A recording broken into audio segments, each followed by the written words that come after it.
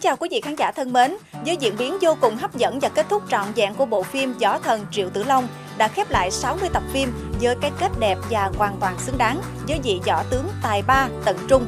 Và chương trình đồng hành cùng phim giờ vàng trên fanpage facebook.com Xuyệt Tây Ninh TV sẽ tiếp tục đồng hành cùng với quý vị khán giả vào ngày 25 tháng 5 năm 2020, ngay sau 5 tập của bộ phim Cội Nguồn Thiên. Bộ phim nối tiếp sau Cội Nguồn Thiên hứa hẹn sẽ lại là một bộ phim hay và hấp dẫn. Mong quý vị khán giả sẽ tiếp tục đồng hành cùng chương trình. Và bây giờ để các bạn không hồi hộp thêm nữa, ban tổ chức sẽ công bố tên 5 bạn khán giả đã tham gia nhắn tin và trả lời các câu hỏi của chương trình đúng và nhanh nhất, cũng như đã thực hiện đúng thể lệ của chương trình cho các câu hỏi của tập 56 đến tập 60. Trước hết mời các bạn cùng xem đáp án.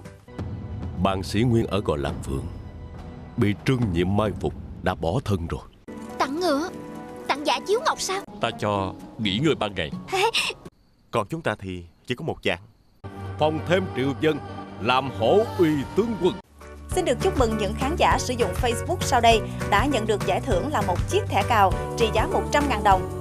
1. Khang Bùi trả lời đúng và nhanh nhất cho câu hỏi tập 56. 2.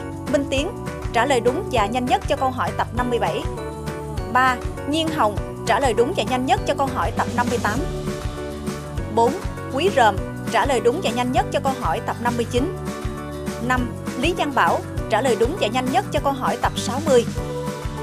Ban tổ chức sẽ liên lạc trực tiếp và trao giải trong thời gian sớm nhất sau khi nhận đủ thông tin từ các vị khán giả trúng thưởng. Đài phát thanh và truyền hình Tây Ninh với mong muốn đem lại cho quý vị khán giả những giây phút thư giãn tuyệt vời với những bộ phim hay. Hy vọng là các bạn sẽ luôn ủng hộ và đồng hành cùng chúng tôi. Mọi thông tin sẽ được cập nhật thường xuyên trên fanpage, YouTube và trang web tayninhtv.vn của Đài Phát thanh và Truyền hình Tây Ninh.